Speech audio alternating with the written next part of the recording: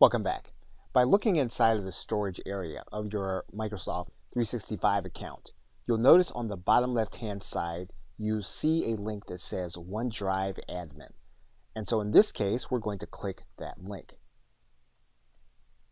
We're then going to have access to administer our OneDrive account.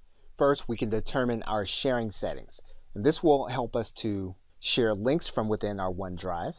We can also control how our devices sync to the OneDrive account. So if you want to have your personal computer and the documents on it synced to the documents on your online account, you can do that through this menu. When you have to dismiss someone from your team or from your group, you can determine how many days their files will be available in OneDrive through this menu.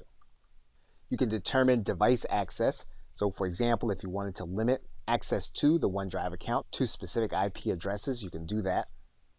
You can use the compliance page in order to create alerts that will tell you when users perform specific activities inside of OneDrive.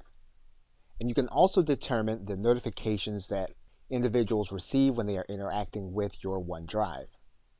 Once you've completed your system setup, you can then go back to the Home button.